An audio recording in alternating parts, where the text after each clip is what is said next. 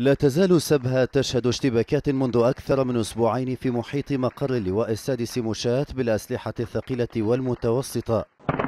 ما خلف عددا من القتلى والجرحى وسط مطالبات بإرسال قوة من الشمال لوقف القتال في المدينة وتأمينها.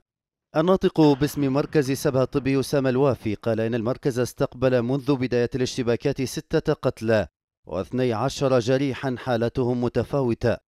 بعثة الأمم المتحدة للدعم في ليبيا أعربت عن قلقها البالغ إزاء التصعيد العسكري الذي تشهده المدينة مطالبة بوقف الاستخدام العشوائي للأسلحة في المناطق المكتظة بالسكان.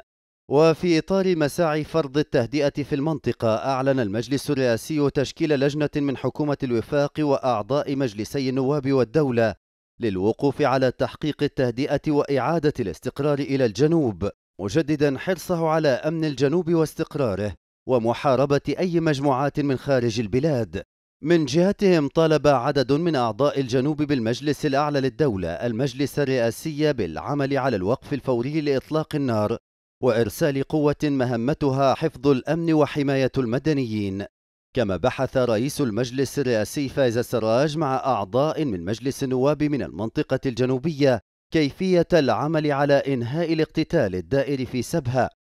إنسانيا قدم الهلال الأحمر فرع سبها مساعدات غذائية وطبية إلى النازحين بعد أن فتحت أغلب مدارس سبها أبوابها لاستقبال العائلات النازحة والتي بلغ عددها حوالي 400 عائلة تعاني ظروفا صعبة نتيجة الحرب الدائرة في المدينة. نازحين هيك تقريبا 63 65 أكثر من هيك وفي عائلات وفي نساوين وفي حتى ناس مازال قاعدين غادي وعالقين يعني ما إنهم يطلعوا يعني بسبب الأوضاع الأمنية يعني.